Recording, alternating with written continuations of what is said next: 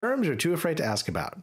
What on earth are embeddings? What this does is it turns sentences into number vectors. Think about it like a semantic map. It finds similar ideas, not just keywords. The best way to think about embeddings in a finance context is to think about it like general ledger account codes. It's grouping similar items together based on a certain standard that's been assigned to it. So it could be things like office supplies, it could be things like marketing expenses.